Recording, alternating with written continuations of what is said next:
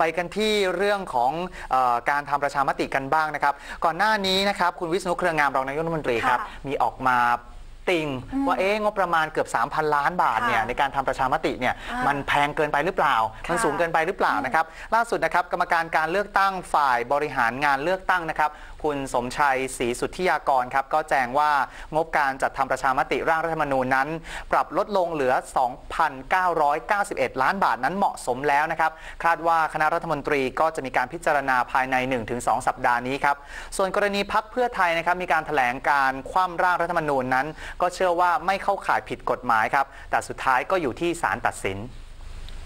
นายสมชัยศรีสุทธิยากรครับกรรมการการเลือกตั้งด้านบริหารงานเลือกตั้ง กล่าวถึงกรณีที่นายวิษณุเครืองามนะครับรองนายกรัฐมนตรี ระบุถึงวงเงินงบประมาณ 2,991 ล้านบาท เพื่อจัดทำประชามติเป็นตัวเลขที่สูงเกินไป ว่าเรื่องนี้นะครับยังไม่ได้รับการประสานงานจากคณะรัฐมนตรีอย่างเป็นทางการ โดยคาดว่าน่าจะมีการนำเข้าสู่การพิจารณาของคณะรัฐมนตรี ภายใน 1-2 สัปดาห์นี้ แต่อย่างไรก็ตามนะครับ ยืนยันว่ากกตนั้นได้พิจารณาอย่างรอบคอบ แล้วก็มีการปรับลดงบประมาณลงแล้ว จากเดิมนะครับ นี่ตอนแรกเนี่ย คิดไว้เลยว่าจะขอค่ะที่ 4,100 ล้านบาทนะ อืมแล้วก็ลดลงมาเหลือ 3,400 ล้านบาท และตอนนี้นี่คือลดสุดๆแล้ว 2,991 ล้านบาทตามลำดับค่ะ นะครับ ซึ่งก็สามารถอธิบายได้ทุกบรรทัดเลยนะครับ ว่าเอาไปใช้จ่ายตรงไหนบ้าง โดยตัวเลขดังกล่าวนะครับ ได้มีการปรับลดงบประมาณลงจากภาระที่เคยกำหนด ให้ต้องจัดพิมพ์ร่างรัฐธรรมนูญฉบับเต็มไม่น้อยกว่า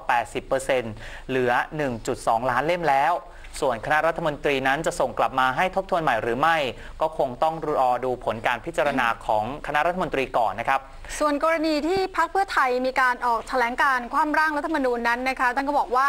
ส่วนตัวแล้วเห็นว่ามันไม่เข้าข่ายผิดกฎหมายนะคะเพราะว่าเป็นการแสดงความเห็นพร้อมเหตุผลที่ไม่เห็นด้วยกับเนื้อหาในร่างรัฐธรรมนูญ แต่ว่าสุดท้ายแล้วจะผิดกฎหมายหรือไม่นั้นเนี่ยนะคะศาลจะเป็นผู้ตัดสินนะคะ ซึ่งหากมีการร้องเรียนเข้ามาก็เป็นเรื่องที่กกตทั้งหมดนั้นจะต้องพิจารณาร่วมกัน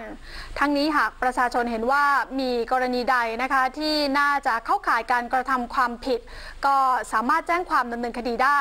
เนื่องจากกรณีนี้ก็มีกฎหมายหลายฉบับนะคะที่ควบคุมอยู่ เช่น มีการแจกใบปลิวรณรงค์ให้รับหรือไม่รับร่างธรรมนูญ อันนี้ก็ผิดนะคะ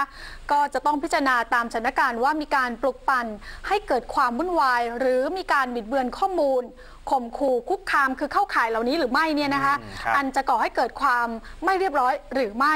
รวมไปถึงพฤติกรรมว่าด้วยการชุมนุมเกินกว่า 5 คนหรือไม่นะคะ ซึ่งจะต้องดูกฎหมายประกอบเป็นรายกรณีค่ะ นายสมชัยนะครับกล่าวอีกครับว่าในส่วนของกรรมการการเลือกตั้งนั้น ก็จะทำคำแนะนำในข้อที่ไม่ควรปฏิบัติออกมาครับเพื่อให้เกิดแนวทางที่ชัดเจนให้มากที่สุดด้วย พร้อมกับย้ำว่ากรรมการการเลือกตั้งนั้น ไม่สนับสนุนให้มีการเปิดเวทีในแต่ละพื้นที่ครับเพราะเกรงว่าจะเกิดปัญหาตามมาทีหลังได้